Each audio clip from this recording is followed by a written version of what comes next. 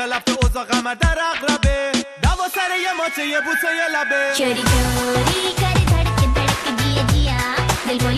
Przed mikrofonem Wigry TV prezes Wigier Grzegorz Wągiewicz. Panie prezesie, inauguracja wiosennej rundy rozgrywek drugiej ligi coraz e, bliżej.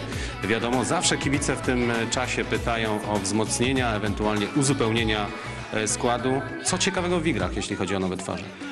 Więc zarząd y, klubu Wigry mm, ostatnio podpisał dwie umowy z nowymi zawodnikami.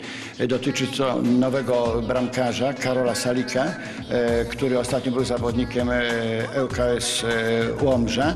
Jest to kontrakt na tą rundę z możliwością y, przedłużenia y, tej umowy.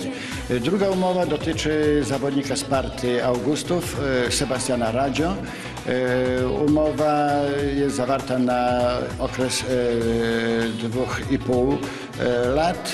E, Sądzę, że obaj ci zawodnicy e, będą e, dodatkowym wzmocnieniem naszego zespołu. Karol Salik, nowy bramkarz suwalskich e, Wigier, ale twarz chyba kibicom e, doskonale już e, znana. E, Karol, przejście do Wigier to raczej tak z braku innych ciekawych propozycji, czy po prostu bardzo chciałeś tutaj trafić?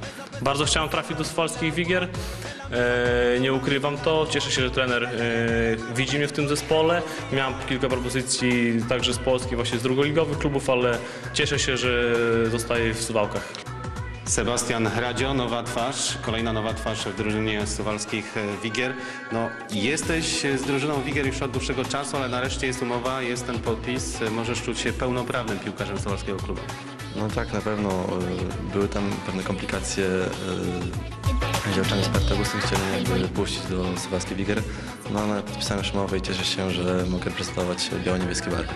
Możesz odetchnąć? Jesteś o tym święcie przekonany, że dobrze trafiłeś? No tak, uważam, y, że dobrze, dobrze trafiłem, tym bardziej, że jeszcze uczę się y, w liceum, więc z Suwałkiem myślę, że to dobre rozwiązanie. 30 km od Augustowa.